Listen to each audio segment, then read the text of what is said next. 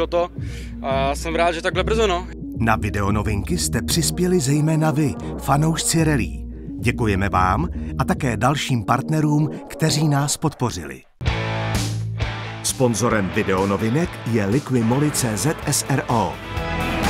liqui-moli.cz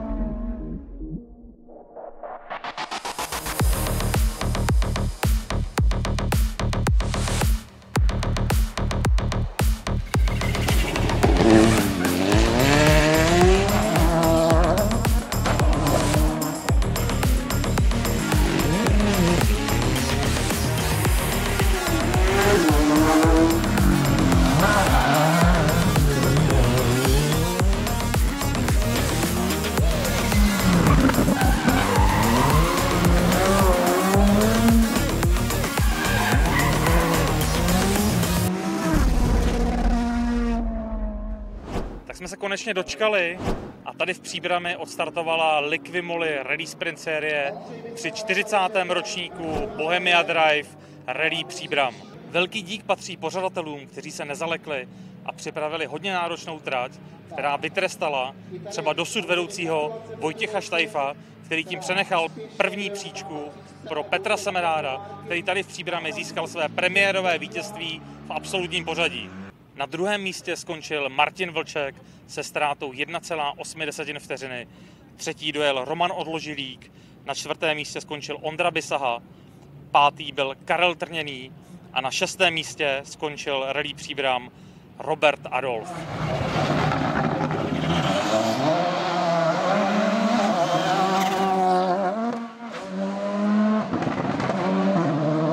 Brzda nady pravá 7 kužely hladká. 20 brzda levá 7-8 do úzka kužel volně dlouhá. 50. Ah!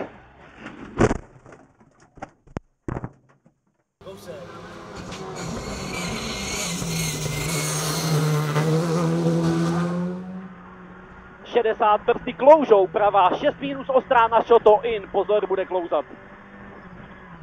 Váže horizont.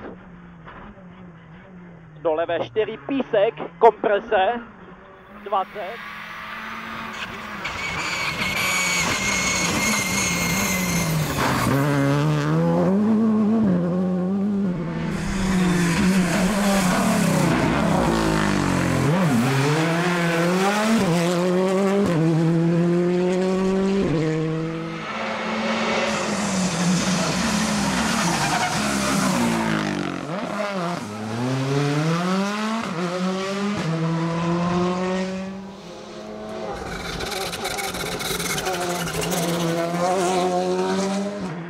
Váže pravá 3 beton, 40, levá 3 beton, 120.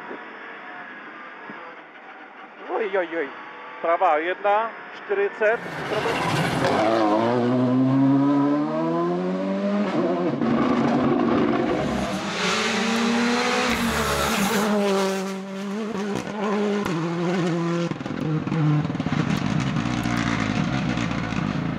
Neboj, horizont, levá 1 půl, 130 středem, pravá 2 brzo zůstaň, 50 brzda, levá 3, 4 kat, 80, pozor, brzda, pravá 8 retarder za beton, levá 7 za balík, široká.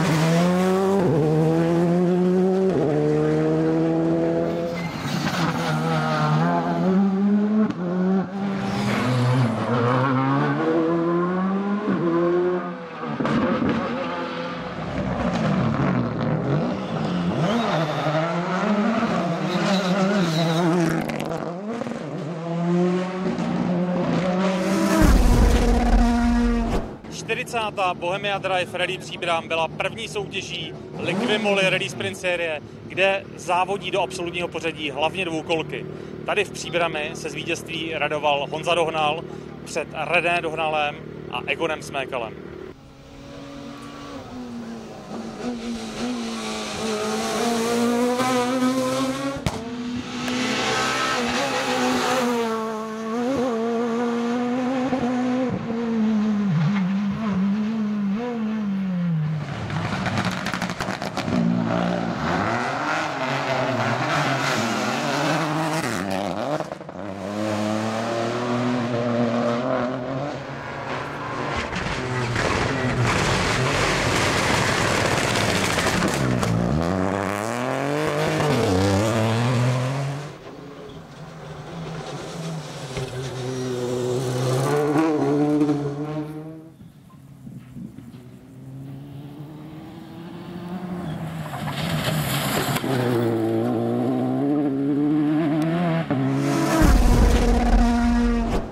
Petře, obrovská radost, aspoň teda pro mě tady eh, v Příbrami, protože jsem se dočkal eh, prvního vítězství premiérového tvýho v absolutním pořadí.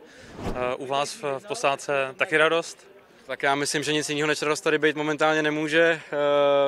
Přišlo to a jsem rád, že takhle brzo. No. Je to první start v Rally Sprint Series, druhý start s velkým autem na velkém závodě a, a podařilo se nám vyhrát po odstoupení Vojty Štajfa, takže za mě absolutní spokojenost. Musím poděkovat všem partnerům, týmu maďarskému, který připravuje auto, protože nebejt jich, tak bychom tady vůbec vlastně nebyli po Bohemce, takže musím poděkovat úplně všem, protože e, ta posádka, to už je potom jenom ta, a ten závod, to je jenom třešnička na dortu, ale ta práce, která jde v té backstage, e, tak ta je hrozně veliká a je potřeba ji ocenit. No, ta cesta k tomu vítězství nebyla jednoduchá. Dneska to bylo nahoru dolů, byla tam chyba na čtvrtý rychlostní zkoušce. My jsme ji viděli v onboardu, co se tam dělo? Jste hodný teda. Uh, nic, na čtvrtý rychlostce já jsem uh, si nějak pořád zapomínal zavírat okno před startem a na čtvrtý rychlostce mě to do, dohnalo a když jsem si zavíral okno, tak jsem spadnul do škarpy, no, protože jsem mladý a blbej, takže naštěstí Naštěstí uh, jsme z toho vyjeli a ztratili jsme jenom 6 vteřin, ale, ale, ale zvládli jsme to a jsme v cíli, jsme první, takže je to, je to super. Já si přiznám, my tady s kameramanem jsme si sázeli před startem tady příbramy. Na Bohemce jsem vyhrál 20 korun, protože jsem si vsadil na pecha a tady jsme si vsázeli až na druhý místo. Protože jsme si oba dva tady vsadili, že vyhraje Semerát, takže jsme nevyhráli, no tak škoda. Nevyhráli, že jste si vsadili, že nevyhraje Semerát. Vsadili jsme si, že vyhraje Semerát, ale tím pádem nevyhrál ani jeden z nás, no. nebo možná oba dva, ale máme radost. Tak je to dobrý, já mám taky radost, jestli máte vy radost, omlouvám se, že vy jste o 20 lehčí, ale, ale myslím, že to oželíte. Martine, druhý místo v příbrami, 1,8 vteřiny, je to hodně nebo málo? Víš co, na ujetých kolik, 60, možná 70 kilometrů, to není moc samozřejmě, ale, ale e, zlepšit se třeba na jedné rychlostní zkoušce o dvě vteřiny, to už je zase okus jakoby řidičského umění dále, takže Eh, těžko říct, no. mrzí mě to, nicméně já našemu autičku neodpustím to ráno, kdy jsme v té první etapě se protrápili kvůli volné pásce na turbu a mysleli jsme si, že je to popov, ale nakonec teda stačilo po prvním servise dotáhnout pásku a už to jelo. No, takže prostě na kdyby se nehraje, každopádně kluci jeli úžasně a, a já si myslím, že to tempo, které se jelo, bylo opravdu jako, bylo si myslím, že, že i diváci snad měli radost, protože já jsem teda nenechával ani metr volný nikde. Každopádně před dalšíma závodama je to motivace, protože ta mezera je velmi malá. Tak eh, ano, ano, mezera je velmi malá. Otázka je, eh, jestli se vůbec další závody pojedou, jak budou, jak budou vypadat. A každopádně já bych možná rád chtěl využít domácího prostředí, tak uvidíme. No. Romane, už to nevypadalo, ale nakonec eh, v příbrami Bednička, ty jsi byl takový rezignovaný v poledne, když jsme se s tebou bavili, takže asi radost. No, tak úplně nerezignovaný, jako eh, my jsme s tím měli poprvé dneska, vlastně tak nečekal jsem, že bychom nějak extra bojovali o první místo, i když po těch dvou tak to vypadalo fakt dobře. Pak jsme měli smůlu trošku a teď na konci zase štěstí, no, i když samozřejmě jsme to Vojtovi nepřáli, protože jel výborně, jo, jako klobouk dolů před ním, no, tak jsme samozřejmě rádi za třetí místo a bereme to jako úspěch. To místo, kde Vojta si uslal, tak to bylo nějaký eh, zrádný místo, víš o něm? No teď vím už o něm, že by bylo nějak extra zrádný ne, ale těch sežíráků bylo hodně. Jelo se rychle, podle mě už jako standardně a, A já musím říct, že nevím, po kolikátý jsem měl příbram, ale podle mě to byla nejlepší příbram, co jsem kdy jel teda. Jo, byť to byl sprint. Ondro, tak eh, jak hodnotí středoevropský mistr tady eh, domácí malou hezkou střediskovou českou rally příbram? Hele, jako oni jsou fakt jako hrozně rychlí, jsou dobří jak hrom. To, my jsme nebyli schopni vůbec se chytnout po tom jejich rozjetí uh, z Bohemky, tak my jsme se nebyli schopni chytnout. A byť jsme zrychlili o sekundu na kilometr vlastně mezi prvním a druhým průjezdem, oni zrychlili trošku míň, tak stejně jsme nebyli schopni je chytnout. Musíme zapracovat na tom nasazení a, a to je to znát, že 14 dní předtím měli takový tolik kilometrů a ještě testy. A soutěž jako taková pěkná? Krásný. To bylo krásný, moc. Příbram jsem měl naposledy 2014, s C2 nedojeli jsme ju, předtím 2013 jsme ju nedojeli. Takže pro mě úplně všechno nový a krásný. Pěkná soutěž, děkujem. Karle, tak uh, rally sprinty, uh, vrátili jsme se zpátky do jednodenních závodů a spokojenost po Bohemce si nezářil úplně a tady uh, ten výsledek je pěkný. Tak výsledek je možná lepší, než byl ten výkon ráno, ale uh, prostě jede se strašně rychle a uvědomuju si, že už s tím naším autem a, a s tím uh, věkem a s tím vším, že se budeme muset směřovat s tím, že být v top 5 je prostě obrovský úspěch. Já jsem byl ráno v Dublovicích, tam jste se hezky skočili. Jak se skáče s Fiestou? To auto je strašně poslušný, strašně příjemný, akorát je prostě blbě se odhaduje, jestli jako jedeš dobře nebo ne. Potřebuješ tomu ty kilometry a, a t- jako my jsme zvyklí, že ty naše výkony jako rostou s, tím, s těma ujetýma kilometrama, tak já věřím tomu, že to zase přijde. Skočilo se hezky, ale samozřejmě Kristian měl s Matiasem Kálem loni na Lozicu nepříjemnou obrovský skok, kdy, kdy, kdy se mu naští pobratel a jeli rovnou do nemocnice z a museli odstoupit, tak, tak jsme jako to pojali, takže jako uvidíme, on říkal, že to cítí, tak jsme měli trošku strach, jestli jako to je všechno OK, tak, tak, tak jsme ho potom vyspali nějak polštářem, aby jsme mohli jet dál, bylo to prostě hrozně hezký. E, nejenom v těch Dublovicích prostě, ale ty, některé ty ztráty na těch kilometrech, no, je to prostě mazec. Roberte, dovolím si uh, jeden z nejrychlejších gentleman driverů tady na Rally Příbram, spokojenost? No, oproti Bohemce velká spokojenost, protože Bohemka pro nás byla očistá po té dlouhé pauze a tam nám to vůbec nesedlo. Tady bylo krásný počasí, fungoval spolujezdec, auto perfektní. Rychlostní zkoušky byly kratší možná, než, než bývá obvykle. Líbilo se vám to, co připravil tady v příbrami pořadatel? Určitě, vložky byly zajímavé, něco tam bylo nového. Konkrétně ta poslední, ta byla opravdu výživná, takže bylo to pěkný. Honzo, tak v příbrami to klaplo, nakonec i to posunutí tím startovním pořadím asi příliš nebo tolik neublížilo. Každopádně zvítězili jste, zvítězili jste v dvoukolkách a v rally sprint sérii. To se počítá. Jo, výborný. Z výsledku jsme nadšený a, a je to asi i víc, než jsme očekávali a tratě tu byly krásný, pořadatelé připravili hezký závod a ta nová rychlostní zkouška je, je výživná, zajímavá. A Auto fungovalo skvěle, bez menších problémů, takže moc díky klukům, kteří ho připravili a co k tomu říct, sportovní komisaře už jsem pozdravoval, tak je dobře, že vědí, kam patříme a děkuji všem zúčastněným za krásně zorganizovaný závod. A s dvoukolkou si se zapodil víc než s VRCčkem, kdyby tady jel? No, asi fyzicky jo. je to, je to fakt raubířina. Jako když s tím chceš jet rychle nebo aspoň svižně, tak, tak se nadřeš. To tak je. Děkuju. Renjo, Ready Příbram, první dohnal, druhý dohnal, 28 vteřin ztráty s novým autem premiéra. Co k tomu? Tomu se dá jenom maximální spokojenost. Já jsem si před závodem nedokázal představit, kde se budeme pohybovat, jestli uh, pojedeme vůbec rychleji než s tím loňským autem. Takže uh, jsem i po těch 48 kilometrech, které jsme měli před testem, si nebyl úplně jistý, ani z toho prvního pocitu z toho auta. Takže uh, jsme čekali na výsledky první RZ a byl jsem neuvěřitelně překvapený, že jsme tam byli s Honzou Dohnalem vlastně v, ve dvou desetinách a poté jsme spolu tak nějak se přetahovali. Nakonec já udělal blbou chybu, uh, díky tomu jsme si udělali problém a byli jsme vůbec rádi, že teďka jsme v cíli, protože jsme půl závodu vařili. Takže zaplať pámbu za to, že to vydrželo a dneska nad náma stali všichni svatí teda.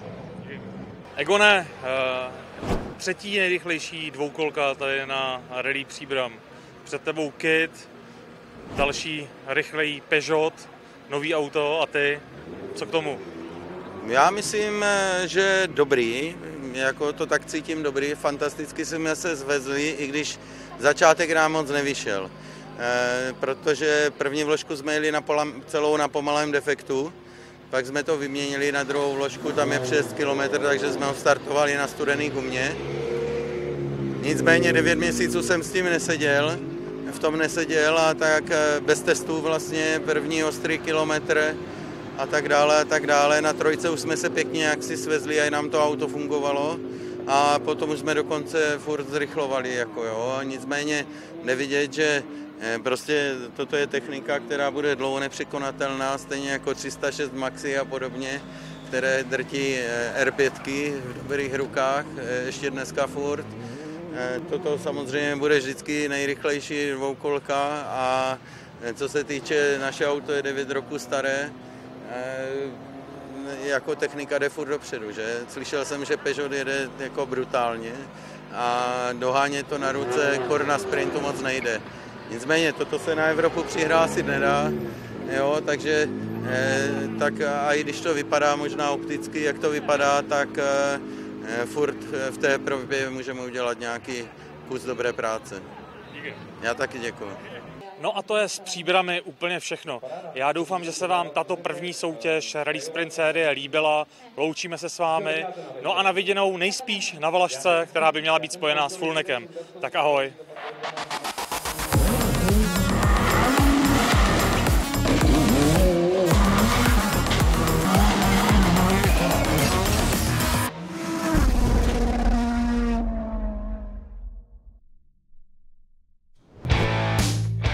Sponzorem videonovinek je Liqui Moly CZ SRO.